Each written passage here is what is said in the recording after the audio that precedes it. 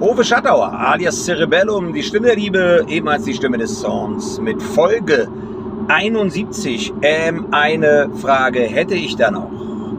Ähm, eine Frage hätte ich da noch. Ist die mangelnde Flexibilität und arrogante Rechthaberei des wilden Wertewestens der Grund dafür, dass irgendwann auf dem Grabstein des Wilde Werte Westens steht, wir hatten Recht. Das war eine lange Frage, eine von mir sehr durchdachte Frage, denn ich wurde inspiriert für diese Folge heute von einem Arte, von einer Arte-Doku vor zwei Wochen. 1,4 Millionen Leute haben die gesehen. China, Russland, Iran die Front gegen den Westen. Und äh, ich habe kommentiert dahinter, wer Uwe Schattauer kennt, der weiß, dass ich gerne solche Kommentare schreibe. Die erfolgreichste Propaganda ist immer diejenige, die kaum jemand bemerkt. Nicht wahr, Arte?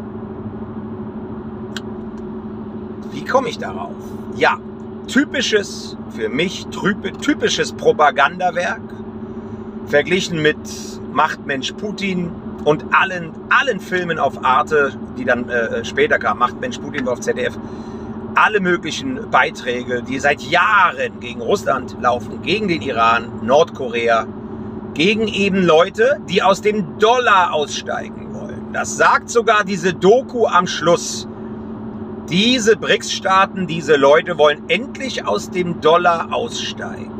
Und dann zeigen sie, das kannte ich noch gar nicht, eine Rede vom kürzlich rein zufällig abgestürzten iranischen Präsidenten 2023, der nochmal betonte, endlich aus dem Dollar aussteigen zu wollen, um äh, befreit zu sein von den ewigen Sanktionen der US-Amerikaner. Was sind die Sanktionen? In diesem Bericht wurde es immer von den, da gab es immer das Ping-Pong-Spiel Chinese, Iraner und Russe kam zu Wort, äh, die die russischen Interessen vertreten und natürlich dann Amerikaner und Westeuropäer. Auch Frau Baerbock, was meiner Meinung nach die ganze Doku extrem schmälert äh, und, und die Glaubwürdigkeit auch wirklich ad acta legt. Ja, Frau Baerbock kommt zu Wort, wenn es um, um äh, die neue Ausrichtung der Welt geht, um neue geopolitische, tektonische Verschiebungen. Ja. Wie gesagt, ähm, Sanktionen, Erpressung, sage ich dazu. Sanktionen ist wieder so ein schönes Wort, Framing, hört sich gut an, klingt gut wie Friedensmission. Genau, der NATO, die Friedensmission. Ja, Verteidigung, Verteidigungsbündnis. Und so ist Sanktionen, das klingt wirklich immer harmlos. Sanktionen ist nicht schlimm. Dabei ist Sanktionen nichts anderes als Schutzgelderpressung, wie äh, in, den, in den kriminellsten Regionen, kriminellsten Unterwelt, mafiöse Strukturen. Dort wird gesagt, wenn du dies nicht tust, was wir dir sagen, wenn du nicht so handelst, wie wir es wollen, sanktionieren wir dich, dann erpressen wir dich über den Dollar. So konnten die Amerikaner nach dem Zweiten Weltkrieg immerhin, immerhin fast 80, 70 Jahre die Dominanz und die Weltherrschaft ausbauen und erhalten. Doch nun haben sich diejenigen, denen man immer versprach, ihr müsst demokratisch und frei sein und ihr müsst ihr müsst euch befreien und tun und machen können, was ihr wollt. Nun machen diese Länder, was sie wollen. China, Russland, der Iran ist konservativ, bleibt immer bei dem, was die alte Tradition sagt. Streiten kann man immer, auch über die Dinge, die autoritäre Staaten wie diese drei machen. Definitiv gibt es dort, wie in jedem Land, Unrecht. In meinem Song Irrtum habe ich gesagt, Überall auf der Welt geschieht Unrecht. Nicht nur damals sozialistische Staaten, DDR und so weiter. Überall. Auch heute. Julian Assange, Corona-Politik. Zensur etc., aufkommende Zensur im wilden Wertewesten, äh, Meinungsfreiheit einschränken, extrem etc. Ja, meiner Meinung nach schaufelt sich der wilde Wertewesten sein eigenes Grab. Das sagte auch ein hochintelligenter Herr, der die russische Meinung vertrat in der Sendung. Man beobachtet äh, quasi mit einem müden Lächeln die Fehler des Westens. Die Fehler, die darin bestehen, das sage ich jetzt, stur zu sein, arrogant zu sein und von oben herab diesen Ländern, diesen mittlerweile großen aufstehenden Ländern wie China und Russland, Indien wurde interessanterweise kaum genannt, weil Indien steht immer noch auf der Kippe. Geht es Richtung Westen oder geht es Richtung Asien und Russland? Das ist das Spannende. Also Indien haben sie auch wieder, so funktioniert auch Propaganda, hat man ge gekonnt weggelassen. Düstere Musik bei den Kommentaren der Leute aus diesen drei Ländern, die jetzt neu die Welt aufteilen wollen, multipolar und nicht unipolar. Und zwar finde ich das wunderbar. Da hat ein chinesischer Vertreter gesagt, man kann nicht eine Ordnung, Weltordnung genannt, über alle Länder der Welt streifen, weil die Traditionen, Mentalitäten und Geschichte aller Regionen auf dieser Welt unterschiedlich sind. Welch ein weiser, von mir voll 100% unterstützenswerter Spruch. Nicht Spruch, eine, eine Lebensweisheit, die der Chinese äußert. Denn was haben wir jetzt gelernt in Europa? Wir haben gedacht, man kann die EU gründen und alles gleich machen in Europa. Und wir sehen mächtig gewaltige Unterschiede allein innerhalb von Europa, von der Mentalität und von der Art und Weise, wie man lebt, arbeitet und miteinander umgeht. Und dadurch entstehen Konflikte, wenn man alle unter einen Hut kehren möchte. Europa sieht, wie es scheitert. Immer mehr Leute, Herr Orban hat eine riesen, übrigens auch nicht gehört, ich komme jetzt leider wieder ein bisschen weg von dem Film, Orban und die Ungarn haben am 1. Juni, hat Herr Köppel von äh, Weltwoche, kann ich immer nur empfehlen, Roger Köppel, Weltwoche, ein wunderbarer Mensch für mich, geistreicher Mensch ähm, hat das nochmal, er hat es wenigstens mal in mein Gedächtnis gebracht. Davon hat der Mainstream in Deutschland, glaube ich, gar nichts berichtet. Und wenn dann nur eine ganz kleine, ganz kleine Zeile. In Ungarn sind Hunderttausende auf die Straße gegangen am 1. Juni und haben für Frieden auf der Welt demonstriert. Orban sagte, Schluss mit diesem Wahnsinn, wir haben es doch erlebt. Weltkriege in Europa. Europa ist das Kriegsgebiet der ganzen Welt. Über hunderte von Jahren hat man sich hier die Köpfe eingeschlagen und den schlimmsten Zweiten Weltkrieg überlebt, der ganz Europa in Schutt und Asche legte, sagte Orban. Wollen wir diesen Wahnsinn nochmal wiederholen? 80 Jahre später. Ein kluger, weiser, Staatschef, der an das Wohl seines Volkes denkt und nicht wie unsere Kriegstreiber, die mit dem Wohl des Volkes spielen und pokern, wie ich schon beim letzten Mal sagte. Wie gesagt, Europa ist gespalten. Wer anders, was ist das? Wir sind nicht diktatorisch, die Amerikaner sind nicht diktatorisch und schalten Gegner aus. Wie gesagt, der Iraner ist Präsident, der den Dollar abschaffen wollte, ist einfach mal abgestürzt.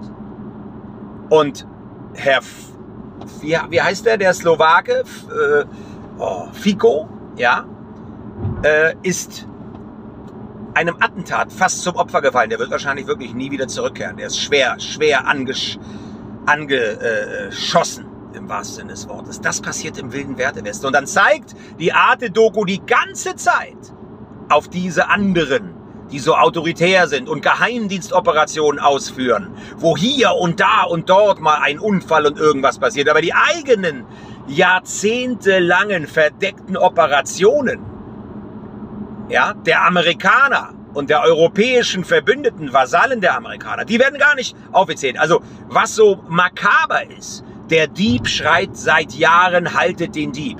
Wenn ein Verbrecher, ein Lump, der selbst so viel Dreck am Stecken hat, andauernd auf andere zeigt, die auch Dreck am Stecken haben, das will man gar nicht abschreiben.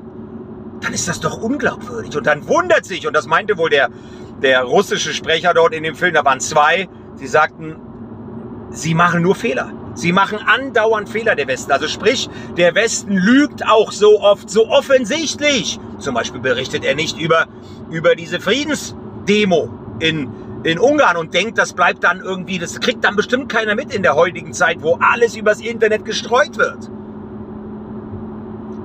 dann sehen die Leute, Moment mal, unsere Medien machen nur Kriegshetze. Die machen nichts für den Frieden. Die berichten nicht über eine riesen Friedensdemo, um ja nicht die Leute zu inspirieren in Deutschland, endlich mal wieder mit Hunderttausenden auf die Straße zu gehen für Frieden. Also nochmal, ein selbst unglaubwürdiger Staat, der Fehler macht. Siehe, Migrationspolitik. Ich muss nichts darüber sagen, was hier gerade passiert die Messerangriffe. Gestern habe ich es gehört in einem Bericht im Internet. 22.000 Messerangriffe, 60 pro Tag. Das sind nur die gemeldeten im Jahr. 22.000, hat ein Polizeibeamter gesagt in einem Interview. 60 pro Tag, das sind nur die gemeldeten, sagte er. Das sind nicht die, wo jemand mal bedroht wird mit einem Messer von der Clique und dann sagen die, lassen sie doch in Ruhe und gehen. Ist aber auch ein Messerangriff, die Bedrohung, selbst wenn er das nicht zur Anzeige bringt. Also Leute, was ist hier los? Das gab es früher nicht. Ich kenne das nicht aus meiner Jugend. In der DDR schon gar nicht. So viel Kriminalität gab es niemals im bösen diktatorischen Osten. Oh, des Weiteren kommt auch in den Bericht, ganz klar.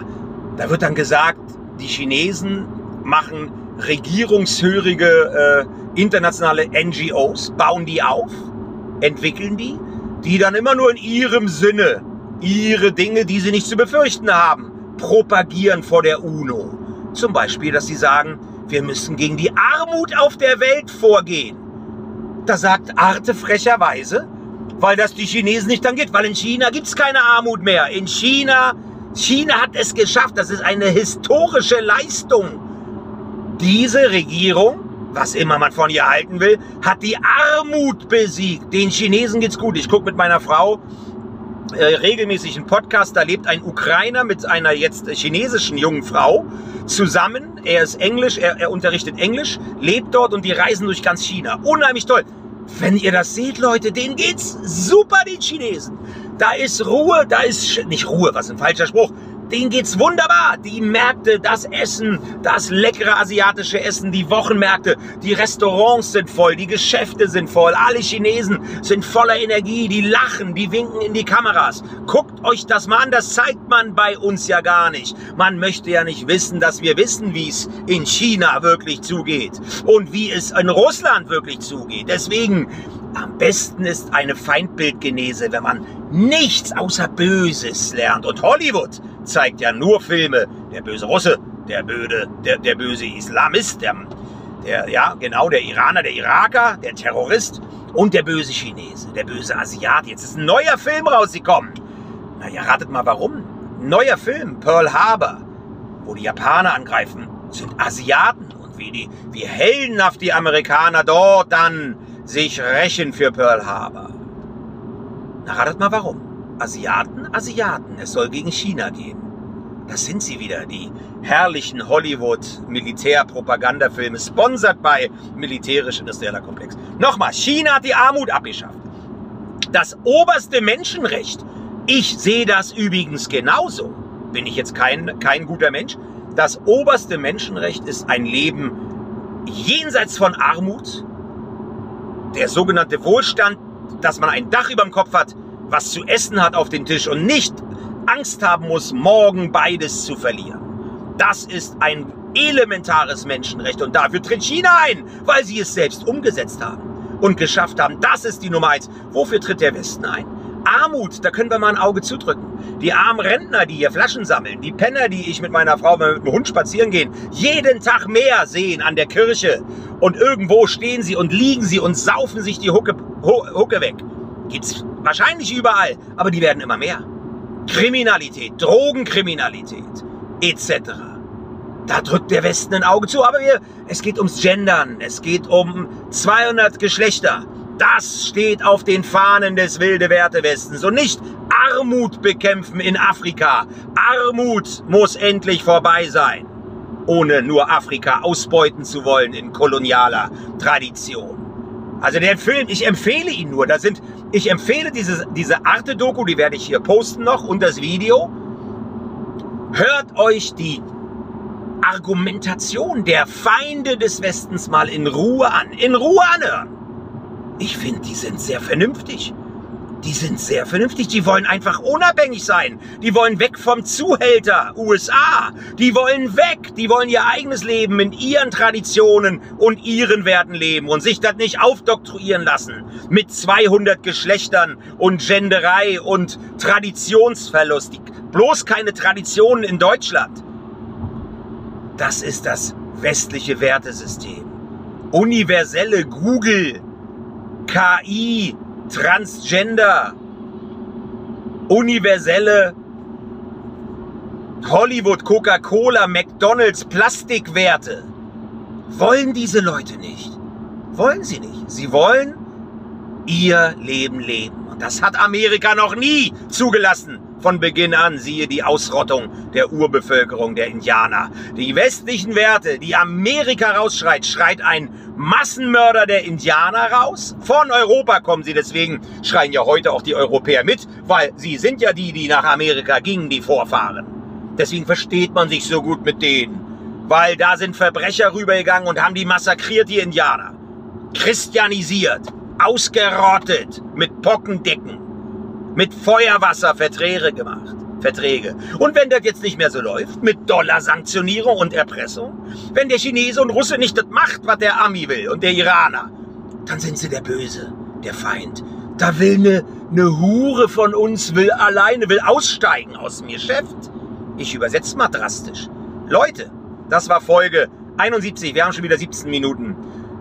Wollte ich loswerden, schaut euch diese Doku an und hört auf die Stimmen der Gegner des Westens. Und beachtet auch immer wieder, so läuft Propaganda, düstere Musik beim Feind. Wenn angenehme Musik oder gar keine Musik, wenn der Westen vernünftig dargestellt wird. So läuft Propaganda. So läuft Propaganda. Danke, ihr Lieben. Danke an über 200.000 Aufrufe für den Russlanddeutschen, der gesprochen hat. Fast 3000 Kommentare, über 20.000 Likes. Lest euch die Kommentare durch. Es ist ein Hochgenuss. Immer mehr Menschen wollen Frieden mit Russland, wachen auf und wollen die Sache friedlich klären. Darum geht's, dass man den Krieg stoppt, das Töten stoppt und zu einer vernünftigen Lösung kommt. Denn, ich komme zurück zur Frage, was nützt es uns? Das ist nicht meine Idee. Das hat ein äh, bei Welt Mainstream ein General, Herr Richter, Wolfgang Richter gesagt, General AD, vor paar Tagen, was nützt es dem Westen, wenn auf seinem Grabstein steht, wir hatten Recht? Denn es kann zu einem Atomkrieg kommen. Druschba, daragie Druzja, passt auf euch auf.